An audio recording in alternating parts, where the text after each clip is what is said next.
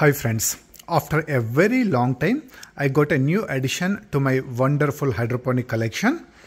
This is LetPot air, specifically LPH air and this is from the company called LetPot. I already have uh, four LetPot hydroponic systems, two LetPot max, one LetPot 12 pot and one LetPot mini. Currently, I am growing uh, chocolate peppers in LetPot max a tomato and fire and ice peppers in another LetPot max and tiny tim tomato plants i recently started in a LetPot 12 pot and petunias in a LetPot mini. Even this basic LetPot mini with just 10 wattage lights do really wonders. I have grown so many things and my results are always exceeding so all these LetPot systems are doing really good and I'm always impressed with these LetPot systems. With that, I got this new LetPot air. Let's see what it comes with, what are all the accessories included and what are all the specs it came with and eventually how is it going to perform. Let's get into it. First things first, a quick manual. Let's get into it soon some stickers. And here comes the hydroponic system. Looks very light and compact. Oh there are actually more stickers.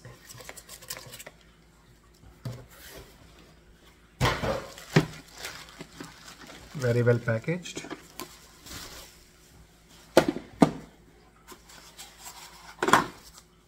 Don't throw this thick foam material this is very useful to make uh, cloning collars. I have a separate video about how to make the cloning collars.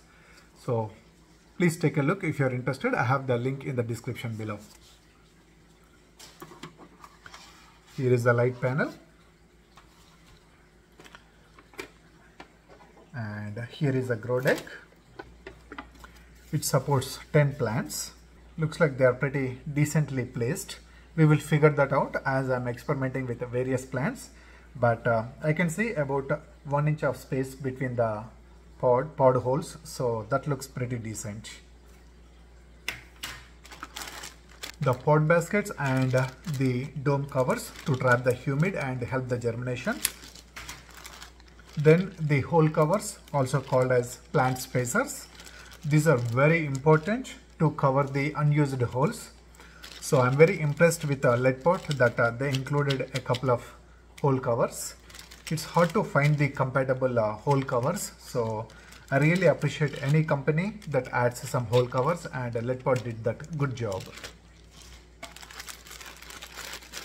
Then the sponges also known as grow medium. Then the nutrition. This is AB nutrition. I'm not a big fan of AB nutrition. I always go with uh, MaxiGro or AeroGarden nutrients but if the system comes with these AB nutrients I'm happy to use them until I ran out of this AB nutrition. Then I will switch to AeroGarden nutrients or MaxiGro because they are just ready to use. And they are pretty easy and straightforward and works very well for almost all the plants I have grown so far. Then some support strings. These are useful for some plant varieties. Then the light pole I will soon measure the exact uh, height we can adjust but uh, this looks very nice.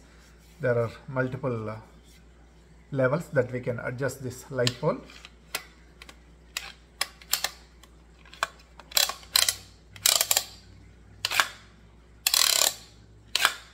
Nice design.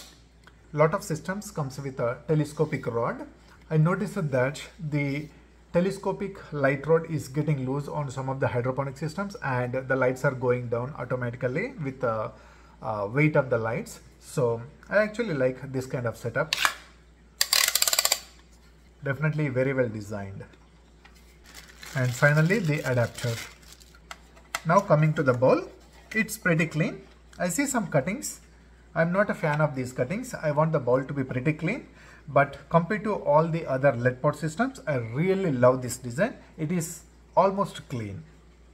And I also like this pump setup. We can just snap in and snap off. I really like this kind of setup. I don't need to use any screwdriver or I don't need to spend time unscrewing any screws. There are no screws here. So it's just a snap in and snap out. I really love this kind of setup. And uh, there is a see-through window. Let's see how much uh, water we can pour. The overall bowl capacity is 4 liters, but we can fill up to 3.5 liters water. That's a pretty good size and uh, it is pretty wide. It is going to be very useful to grow smaller plants and uh, when I'm using uh, all the holes, I think this kind of uh, bowl dimension works very well. I think that's pretty much.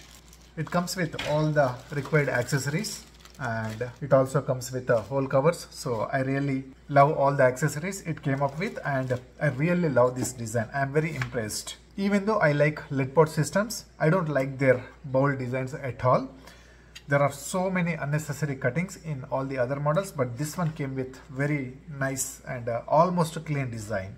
I wish they can get rid of these two cuttings as well but uh, at least it's not bad I can use a nice toothbrush or some cleaning brush and I can easily clean the bowl every time when I want to clean it. I'm so obsessed with uh, clean gardens. I clean the gardens every couple of uh, weeks. So I really want the bowl to be very plain and simple that I can just uh, scrub and uh, rinse thoroughly. See, there are just some holes. This is totally unnecessary design. I wish uh, LetPot and all the hydroponic system manufacturer understands the importance of the clean and a simple bowl and uh, get rid of all these unnecessary cuttings in the bowl. See this one also doesn't need to have this kind of uh, uh, cuttings and designs. This is totally useless. I don't know what is the purpose of this hole here. Same thing. I wish uh, they can get rid of these eventually. I'm sure LetPot is very good in uh, listening to the feedback so I'm sure they will listen to the feedback and uh, get rid of these cuttings and come up with a nice bowl design in the future. But uh, that's fine. I can live with it for now. One thing I'm not super impressed with the LetPot systems is the power of the pump. Even though the pump works decent, it is not powerful enough to move the water very well. We want constantly moving water. We don't want the stagnant water in the bowl it's better to have a very powerful pump inside the hydroponic systems. Let's see how effective this pump is going to work out. I'm going to fill some water and connect this pump to the power and uh, we can test it. Before I put the water and uh, give the pump a test, I'm going to put the light pole and uh, measure the height adjustment.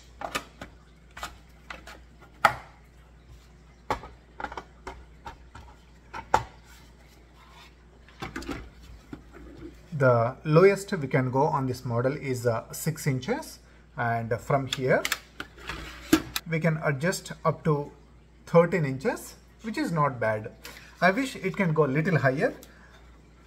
I think uh, one and a half feet is the ideal. We can grow a lot of things but uh, one feet is also not bad. We can grow a lot of plants here including the cherry tomatoes like tiny tims work very well and stay under uh, one foot.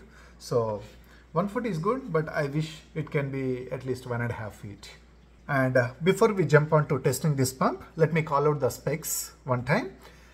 It comes with a 24 wattage lines and uh, three and a half liters bowl capacity. It supports uh, 10 ponds and uh, we can adjust the light height from 6 inches to 13 inches. Those are the main specs. Anyway, we will see how effective those specs are as we experiment with this garden. Now it's time to give this pump a test. Alright, I connected the pump and I'm turning it on. This light panel comes with a four buttons. The first one is power and the second two are the grow modes, vegetable and uh, fruits.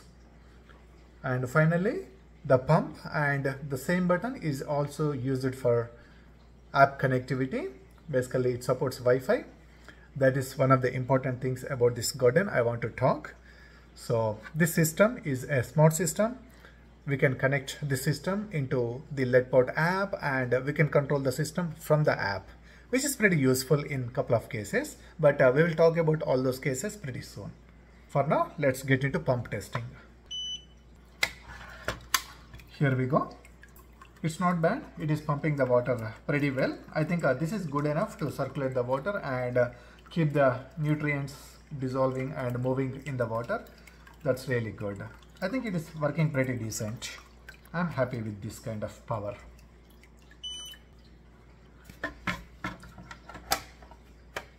Now let me show you some other features that we can manage from the app. I already have a LetPot app installed. I have a couple of LetPot systems already and I connected all of them. Now here comes the LetPot Air. I already connected it. Once you open the LetPot app and uh, once you pick the system, LetPot Air, there are a couple of things we can do here. A lot of things that you can do here. You can also do it directly on the system. So let me show you what is important and what exactly you can do from this app. The first thing I like is controlling the LED brightness. It is here. So you can change it from low to high and high to low. Normally I keep it at a high brightness but uh, during the germination I prefer to turn off the lights because germination doesn't need any lights so I prefer to turn off the lights so if there is an option to turn off the lights I will go with it but here I don't see an option to turn off the lights so I will go with low but uh, once I see the seedlings I will change it to high. So that's one very good feature we can control from the app. And the other things is uh, you can turn off the alarms. When the water level goes down it will give the an alarm. That is sometimes annoying sometimes okay especially if you have a, uh, smaller kids babies or any pets that is scared of sudden sounds you can turn the alarms off. I never use any alarms. I always keep the alarms off. And uh, the next thing is pump we never need to turn off the pump but uh, if you really want to test the pump, whether it is working or not, or how better it is working, you can always test it using this feature. Just uh, turn it off and turn it on. So you should immediately see the pump start and uh, running. That's one good feature. The another very important feature I always prefer in the app is controlling the light schedule. So here you can see the schedule is 7 to 23 which is basically 7 a.m. to 11 p.m. You can adjust the schedule however you want. One good thing I like with this app compared to a couple of other apps is you can schedule what time you want to start and what time you want to end. This is very simple and straightforward. I see some apps related to hydroponic systems where you can only control the start time and you cannot adjust the schedule. But here LetPot gives full flexibility. You can keep it 24 hours on, you can keep 24 hours off, you can keep a couple of hours on. So it's up to you totally. So you can adjust the start time, let's say 6 a.m. and the end time, which can be, let's say 10 p.m. So this is the standard schedule I prefer most of the times. Either I will go with a 7 to 10 or 7 to 11 or 6 to 10 or 6 to 11 and a couple of other things you can adjust are the days planted. You don't need to adjust it but in case you have to reset the garden in between or for any reason if you lose it you can always come back and adjust here. Something like this. And you can also switch the light modes from uh, veggie mode to fruit mode. As i mentioned in a couple of my previous videos i always go with the veggie mode I always want to give all three light combinations. I saw a little bit of poor performance when I switched to fruits. I know some of you tried a fruit mode and it's working for you, but um, uh, it's totally, you can figure it out whether you want the fruit mode or not. For me, practically, fruit mode is a useless mode. I tried uh, switching to fruit mode when I was growing watermelons and the plant almost reached to dead. I don't see any green leaves afterwards and the fruit development got stunted. So I immediately switched back to veggie mode. I always want to give uh, all three color combinations. So blue light is important for photosynthesis, photosynthesis etc. So I always prefer to go with the veggie mode. So I never change it, but if you want, you can change it. That's pretty much all the important features we need from the app. And uh, this app gives lots of easy, straightforward customization and I love it. That's pretty much all about this hydroponic system. As I said earlier, the specs, designs, is good to have but that is not everything I really care about the performance of the system so I'm going to start experimenting with this system and keep you posted with its performance from each and every experiment I run in this garden so please subscribe to the channel and the notifications so that you can see all the updates as soon as I post them. Thanks for watching and happy hydroponics gardening.